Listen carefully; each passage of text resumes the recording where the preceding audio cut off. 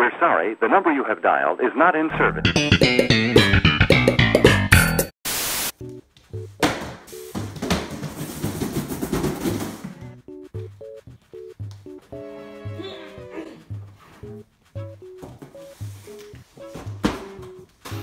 Okay, so somebody asked me to do a board setup video. So uh, here it is. I just ordered this at skatewarehouse.com. Sponsor me. They had a sale at no other than Cater Skater, or now later Cater. His 9.0 deck. Yay! I got that online for 48 bucks because I couldn't find it anywhere else. And they had a thing where if you buy one, you get a shop deck for $19.99. And this was also on sale. So I got two decks for $65. What did you?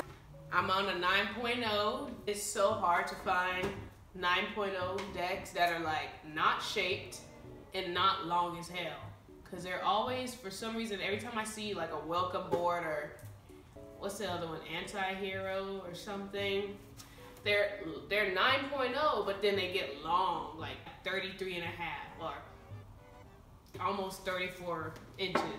You can feel the difference with that limp. So yeah, hi. Part one.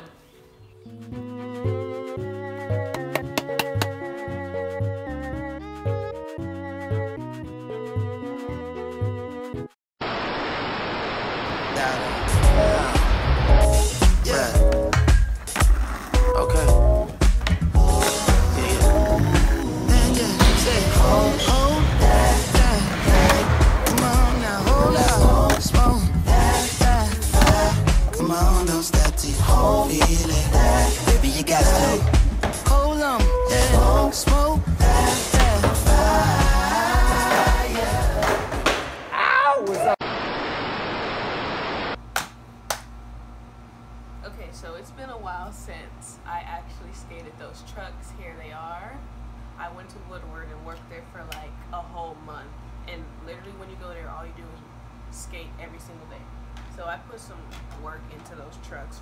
These Krux trucks, they died. Well, I don't know if it was the trucks, but we're gonna talk about why I don't skate these anymore. These are nine inch trucks. I got these because I wanted a bigger board, which you just saw in the last video. And I had that cater board. Now, I didn't like that because it was small, like I just explained. I thought that was gonna be good. It turned out to be really bad. I hated it. The board felt so tiny. It feels much more comfortable when it's longer and it's nine inches across because you just feel more stable. Now, for the trucks, the I'm, I was on Krux. This is one reason why I stopped skating them. I can literally hand tighten this this screw on and off of this truck, which is really bad because at Woodward had a lot of hills, and just imagine me going down a hill and my bolt just falling off like this. I could die. I have a rethreader, and that actually made it worse. It was better when the ends were ground down because at least the bolt wouldn't fall off.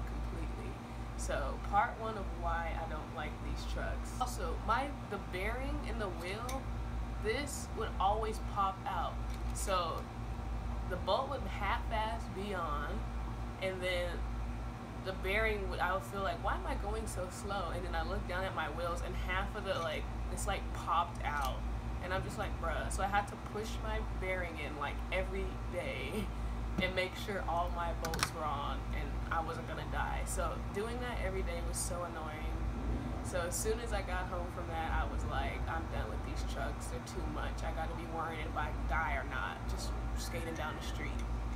So yeah, so far I basically that whole entire board that I was so excited to skate was trash. I didn't like how long it was, or sorry, how short and compact it was, which I thought I was gonna like. And then the trucks completely, I don't know what happened to them. They trash. And also, if you know, like Krux trucks, supposedly the turning is kind of trash. Like it turns like too suddenly, almost like a seesaw, instead of smoother like Indy and Thunder. I vouch for that. I just got used to it, but the turning is trash compared to the other ones. So yeah, that's that whole setup in a nutshell.